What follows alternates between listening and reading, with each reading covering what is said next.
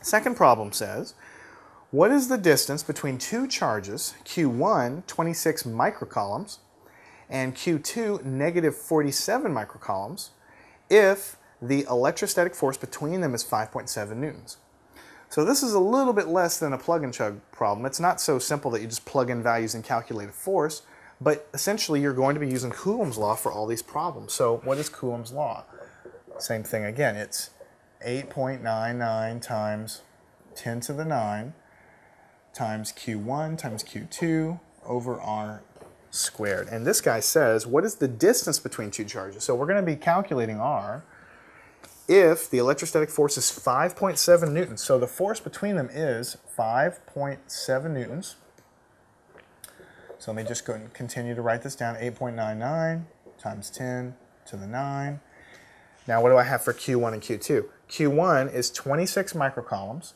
So what you have is that's 26 times 10 to the minus 6 because micro means 10 to the minus 6. 26 times 10 to the minus 6 coulombs or coulombs.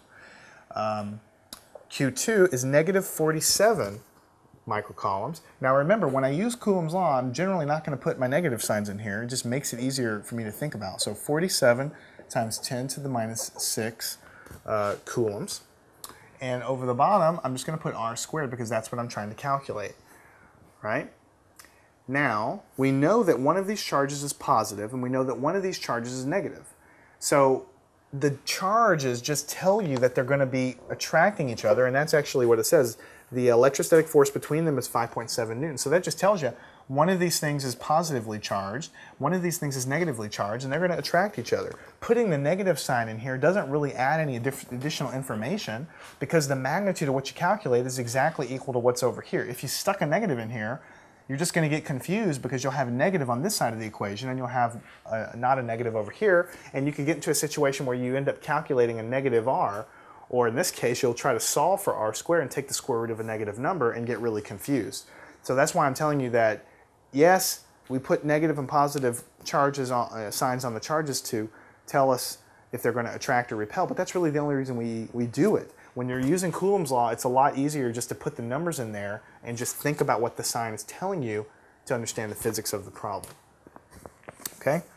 Enough preaching. So let's continue on uh, to this. So if I take the 5.7 and I divide by this, 8.99 times 10 to the 9, I'm going to get 6.3 times 10 to the negative 10 on the left-hand side. On the right, so I'm just divided by this. On the right, I'm just going to multiply these two numbers together.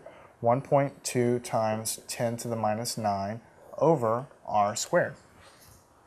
Over r squared. So to solve for r, let's multiply by r. So we get 6.3 times 10 to the negative 10 r squared just multiply here. On the right, we're just going to be left with the 1.2 times 10 to the negative 9. So to solve for r squared, we'll just divide both sides by this. So r squared will equal 1.9 when you take this and divide it by this. And so r, when you take the square root of both sides, is going to be 1.4, and you're always dealing in meters, so it's 1.4 meters. So you see what I'm trying to say. If you tried to put a negative sign in here without thinking through exactly what what was happening, you might get into a situation where this is negative, so when you solve for r squared, you'd get a negative number and you try to take the square root, and you know that the square root of negative number is imaginary, so your calculator is going to return error, and you're not going to know what's going on. There are different ways to do this, so your book might tell you something different, but my advice is just put the numbers in here, don't put the signs in here, don't put any signs on the force over here, and you are just going to have to remember at the end of the day that these charges, since they're opposite, means it's an attractive force. That's really all that that's trying to tell you. And the force was given to you in the problem, 5.7 newtons. So these guys are 1.4 meters apart. Okay, now we're going to get into some problems that are a little bit more challenging and require you to do a little more thinking ahead of time to set them up properly. Uh, there won't be as much of the plug and chug variety. So let's get into it. Charges.